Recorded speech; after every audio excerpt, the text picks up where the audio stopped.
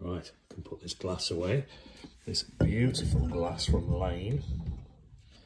Now I try and keep the glasses in alphabetical order. So it needs to go here. Now there's just too many, I think now. So I'm gonna have to double up Ludlow. I'm gonna double up on that one. Push that one to the back. And Lane can go there. Fabulous.